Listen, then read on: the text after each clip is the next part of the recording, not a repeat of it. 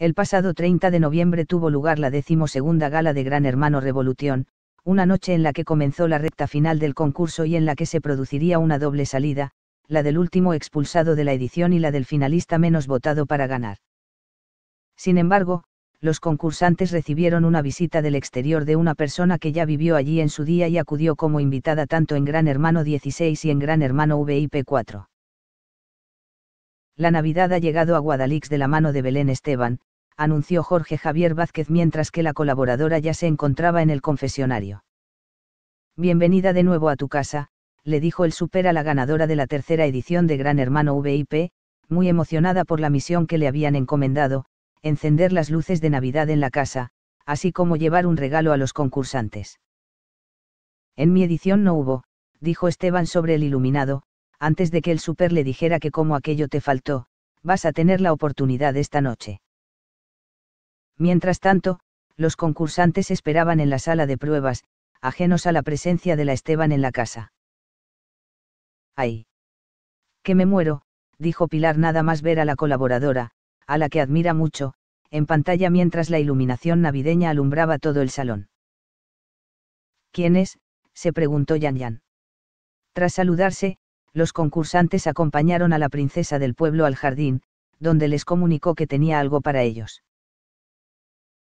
Hay una condición, este regalo no lo podéis abrir hasta que os den instrucciones, dijo Belén antes de repartir las otras cosas que llevaba, además del regalo. Pili, ten clara una cosa. Tú gustas, a mí me gustas, todos gustáis, por sé cómo eres, que hay algunas que son de 90 menos 60 menos 90 y van de diosas. Que eso no se te olvide, soltó Belén Esteban, de repente pero la de Pacuellos del Jarama no lo dejó ahí y siguió lanzando mensajes de apoyo y pullitas a partes iguales. Hugo, más vale solo que mal acompañado, sentenció la colaboradora del debate de GH Revolución, dando una valiosa información en una sola frase tras la sonada traición de Rubén al uruguayo, con Maiko y Miriam como cómplices. Que disfrutéis, que aquí habéis entrado solos y ya sabéis todos lo que tenéis que hacer. Os lo digo de corazón, añadió Esteban. Belén ya estoy viendo que te tienes que morder la lengua, dijo Jorge Javier Vázquez cuando conectó en directo con su compañera de programa, que lejos de callarse quiso seguir haciendo reivindicaciones. Sí, porque en esta casa, todo lo que pasa, se ve fuera. Todo. Pero todo, todo. Así que yo he dicho lo que creía que tenía que decir. Podría decir muchas más cosas. Y Pili, lo que te he dicho que no se te olvide, que lo que importa es esto, reiteró la expareja de Jesulín de Ubrique, señalándose el corazón.